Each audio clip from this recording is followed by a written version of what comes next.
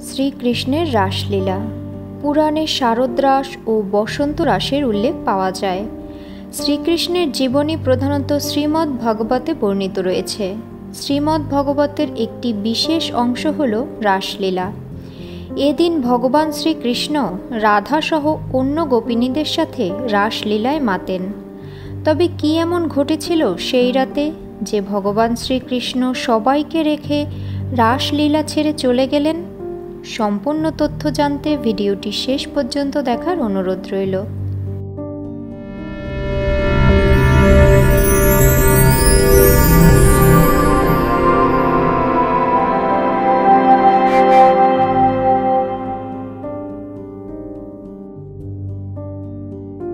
রাস শব্দটি এসেছে রস থেকে। রস মানে আনন্দ, দিব্য অনুভূতি, দিব্য প্রেম।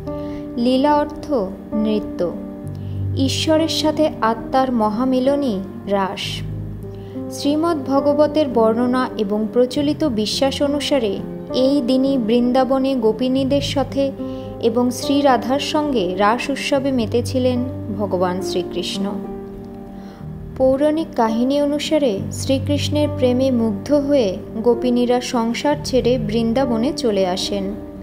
শ্রীকৃষ্ণ তাদের নিজ নিজ সংসারে ফিরে যেতে অনুরোধ করলেও গোপিনীরা তা অস্বীকার করেন। ভক্তের অধীন ভগবান তখন তাদের সাথে রাসলীলা করার প্রতিজ্ঞা করেন।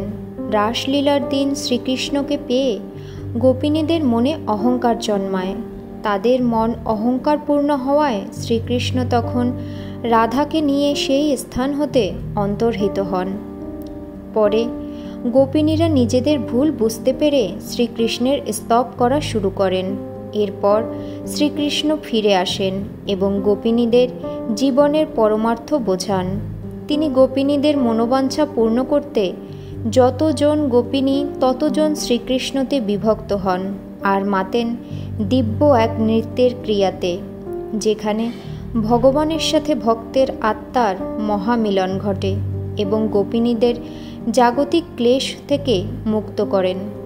আর এইভাবেই শুরু হয় রাস উৎসবের প্রচলন। এদিন মন থেকে ভগবানের পূজা স্তব করলে ভগবান প্রসন্ন হন এবং ভক্তের সকল মনোবাসনা পূরণ করেন। ভিডিওটি ভালো লাগলে লাইক করুন, হিন্দু ধর্মের মাহাত্ম প্রচারে ভিডিওটি বেশি করে শেয়ার করুন।